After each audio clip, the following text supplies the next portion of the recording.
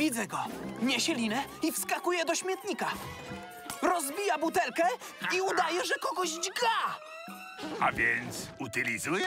Czy Ratujmy królewnę! królewna balonowa?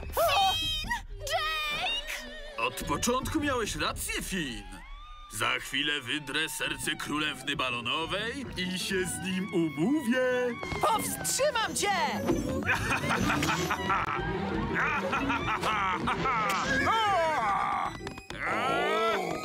Ani kroku dalej, bo wyjmę jej serce. Finn, czuję się jak idiotka przez to, że w ciebie zwątpiłam. On był taki zajmujący, aczkolwiek dość słaby z zakresu wiedzy o roślinoidach. Zamknij się wreszcie, królewno! Zaraz będę całować jej serce, a wkrótce zostanie moją żoną! Może poślubisz coś swoich rozmiarów!